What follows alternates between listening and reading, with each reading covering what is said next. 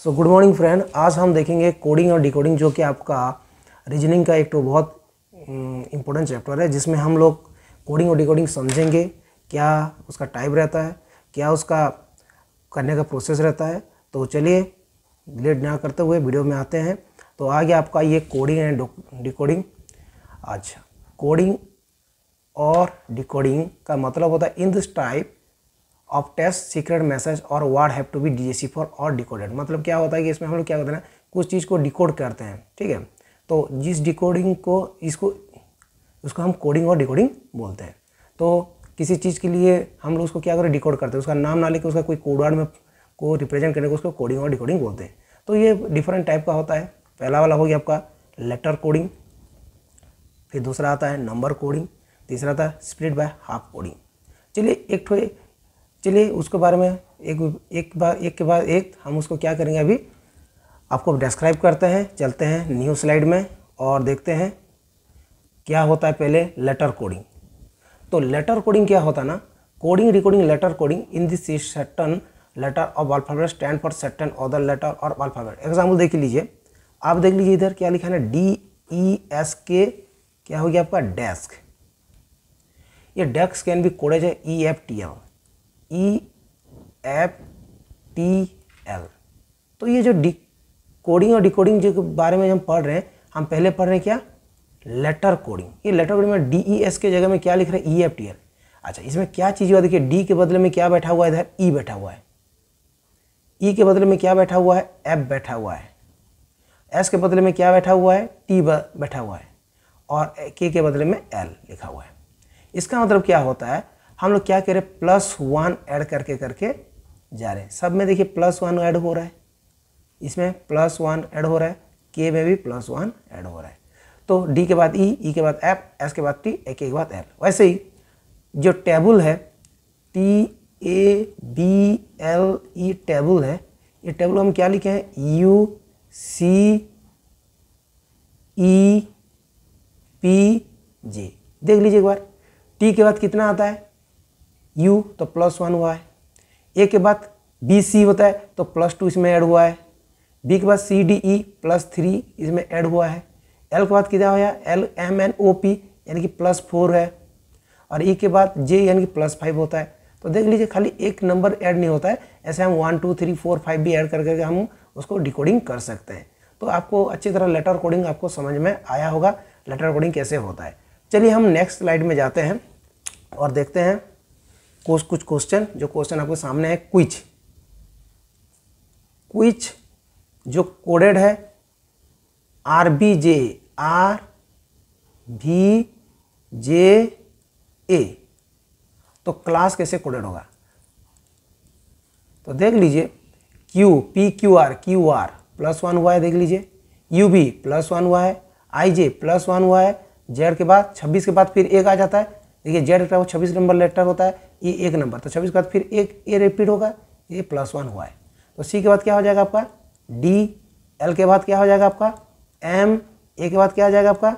B और S के बाद टी और ये एस के बाद भी टी हो जाएगा। क्योंकि सब प्लस वन प्लस वन बड़ा है तो आपका आंसर क्या हो जाएगा? D M B T T ठीक है?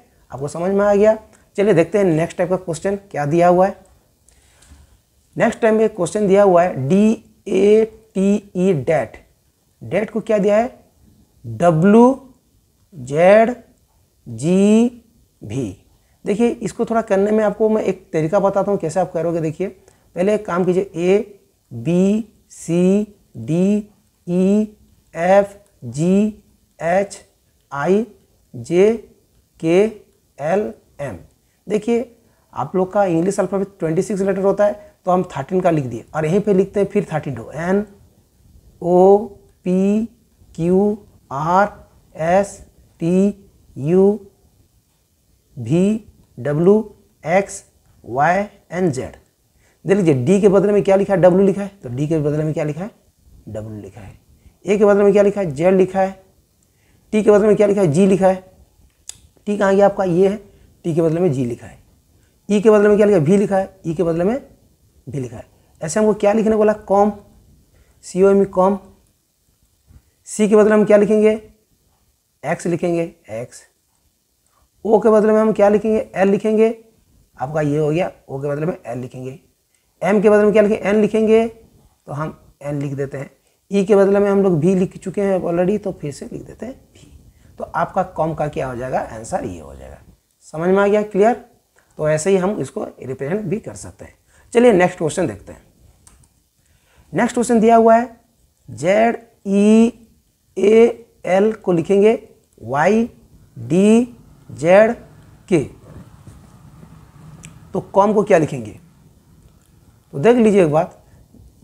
जेड अगर 26 नंबर लेटर है तो ये 25 नंबर लेटर है तो ये माइनस वन हुआ। ये पाँच नंबर लेटर है तो डी कितना हो गया? आपका फोर नंबर लेटर तो माइनस वन। ए अगर एक को पीछे करेंगे तो फिर जेड में आ जाएगा तो माइनस वन हुआ। एल से पीछे करेंगे तो आपका किया आ जाएगा। ऐसे सी को पीछे करेंगे तो कितना जाएगा? बी ओ को पीछे करेंगे तो क्या होगा? एन एम को पीछे करेंगे तो क्या होगा? एल और ई e को पीछे करेंगे तो डी तो B N L D is the correct answer देखिए माइनस वन सब हो रहा है। Minus one minus one minus one तो इसीलिए आपको एक चीज़ करना है। ए ए हो गया B C D E F G H I J जो है ना, उसको आपका मैं नंबर लिख दूँ। ए से लेकर जेड जो अल्फ़ाबेट है, इसलिए हम कैसे याद रखेंगे? ए से लेकर जेड का जो अल्फ़ाबेट को नंबर नंबराइज कर दें ताकि आपको ईजी में समझ में आ जाएगा। ठीक है? चलते हैं नेक्स्ट पे। देखिए एक्ट डी एफ़ डब्ल्यू हो गया।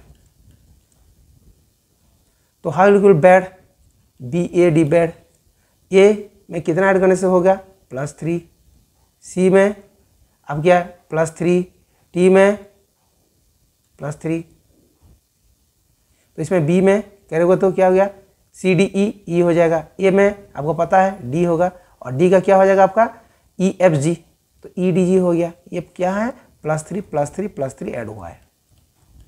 ठीक है? क्योंकि देखिए बी टू नंबर है। ए को एक बोलते हैं डी को चार बोलते हैं। तो दो में तीन मिलने से पाँच ई तो पाँच है। ए में तीन मिलने से चार होता है, जो कि डी चार है। और चार में तीन ऐड करने से सात तो जी सेवन है। ठीक है? चलिए, चलते हैं नेक्स्ट ये एक तो क्वेश्चन देख लीजिए, ये थोड़ा अलग टाइप का है। इसमें लिखा है टी एस ई आर भी ई और इसमें लिखा है तो T S E R E V E लिखा है, जिसको हम क्या करेंगे? E V E R S T Everest लिखे। हैं वैसे N O I T A C U D E जो कि आपका हो जाता है एजुकेशन हो जाता है। Education C A T I O N education हो जा रहा है। ये डी है, ठीक है?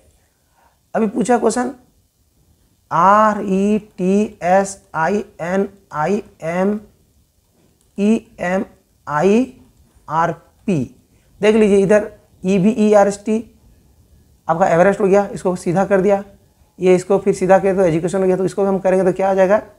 प्राइम मिनिस्टर हो जाएगा। P R I M E prime M I N I S T E R prime minister तो इसका आंसर हो जाएगा कि आपका प्राइम मिनिस्टर हो जाएगा। ठीक है? तो वहीं पे हम वीडियो को रखते हैं और मिलते हैं उसका दूसरा वीडियो में और दूसरा टाइप में आते हैं, जो कि जो लेटर को बाद आपको देखेंगे, हम देखना पड़ेगा क्या? नंबर कोडिंग ओके ठीक है? मिलते हैं नेक्स्ट वीडियो में। बहुत जल्द नंबर कोडिंग को लेके। Thank you